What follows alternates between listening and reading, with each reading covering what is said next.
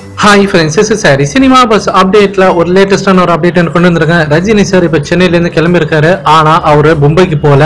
So Darbar படத்தோட shooting வந்து cancel பண்ணியிருக்காங்க ரெண்டு நாளைக்கு. ஸோ இப்போ என்ன முடிவு பண்ணியிருக்காங்கன்னா ரஜினி சார் முப்பதாம் தேதி பிரதமர் மோடியோடைய அந்த பதவியேற்பு விழாக்கு வந்து கலந்துக்க போறாரு.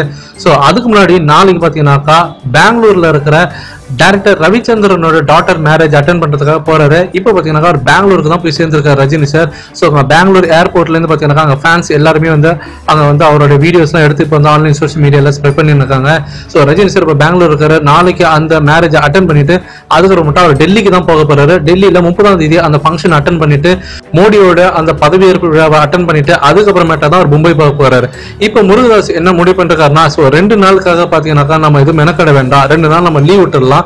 ஸோ ரஜினி சார் வந்ததுக்கு அப்புறமேட்டா வேணா ஆரம்பிச்சுக்கலாம்னு சொல்லிட்டு இப்போ ரெண்டு நாள் ஷூட்டிங் வந்து கேன்சல் பண்ணியிருக்காங்க ஆனா அதே சமயம் இன்னொரு தகவல் என்ன வருதுனாக்கா ரஜினி சார் இல்லாத சீன்ஸ் சில பேட்ச் ஒர்க்ஸ்லாம் எடுப்பாங்க.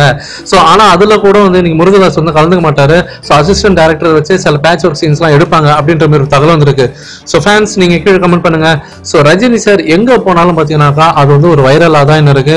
ஸோ அவர் வந்து ஒரு ஃபங்க்ஷன் போகிறாரு சாதாரணமாக அதுக்கும் வந்து பார்த்தீங்கன்னாக்கா வைரல் பண்ணியிருக்காங்க ஸோ இப்போ ஏர்போர்ட்லேருந்து பார்த்தீங்கன்னாக்கா நிறைய ஃபேன்ஸ் வந்து அவரோட வீடியோஸ்லாம் எடுத்து ஆன்லைன் சோஷியல் மீடியாவில் ஸ்ப்ரெட் பண்ணியிருக்காங்க இன்னைக்கு ரஜினி சார் பேசினா அது ஒரு இன்டர்வியூ பார்த்தீங்கன்னாக்கா இப்போ ஆன்லைன் சோஷியல் மீடியா மட்டும் இல்லாமல் பல நியூஸ் சேனல்லையும் பார்த்தீங்கன்னாக்கா அதுதான் இன்னைக்கு விவாத மேடையாக இருக்கு.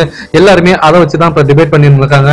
ஸோ ரஜினி சொன்னது பார்த்தீங்கன்னாக்கா அவர் வந்து பிஜேபிக்கு சப்போர்ட் பண்றாரா? இல்லை காங்கிரஸ் சப்போர்ட் பண்றாரான்னு இப்போ மீடியாஸ்லாம் தலையை பிச்சுன்னு இருக்காங்க தான் சொல்லணும்.